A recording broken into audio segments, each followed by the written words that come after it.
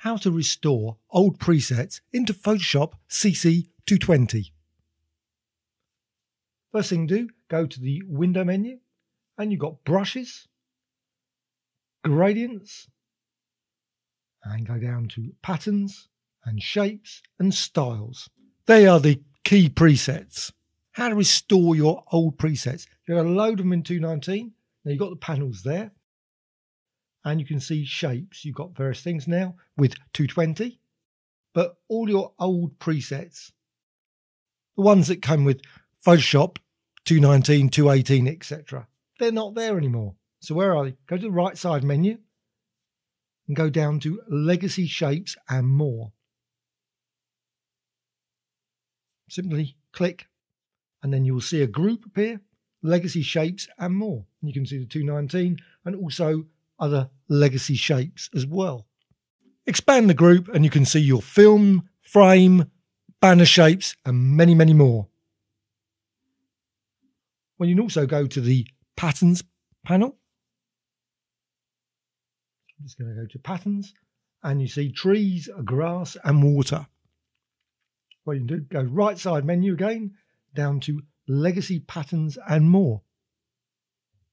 Select that and then takes a few seconds and you'll see a legacy patterns and more appear. And you see again 219, so you've got dirt, stone, wood, etc., as well as colour paper, grayscale, etc. Gradients, you can go to the gradients and again, right side menu and legacy gradients. Weirdly, it's not legacy gradients and more. Anyway, so select that and then you can see legacy gradients group down there. Legacy default gradients, color harmonies, all are back again. So you've got rainbow and all the sort of ones that you probably use, as well as, of course, the lovely new ones that have been added. We can do the same in styles. So go to the styles panel. You see you've got basics, natural, fur, and fabric. Go down to the legacy styles and more.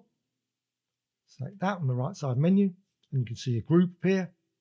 You've got the 219 ones, so you've got chrome, metallic, grunge, glass, etc. As well as the legacy ones down there. So you've got abstract styles, buttons, and many, many more. And you can go to brushes. Now, brushes were was available in the earlier one as well, 219. So it's not a new feature of 220, but you've got legacy brushes there on the right side. So go and go down to that, select that. This time uh, a dialog pops up, click OK. And then you can see that group appear there, legacy brushes. And you've got all your M brushes, legacy brushes, etc. Dry media brushes and many, many more. So that's all your legacy brushes, patterns, styles, etc. brought back.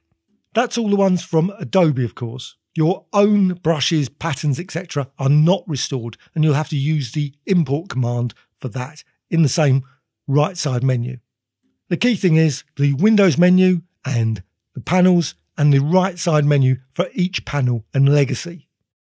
You can always delete the groups and then if you want to restore them at any point later, just apply the same command. Hope you found this tutorial of interest. Please subscribe to the Graphicxtras channel. Always add new tutorials about Photoshop, Illustrator, Affinity Designer, etc. Please add some comments, always appreciated. A dislike or like. Thank you much.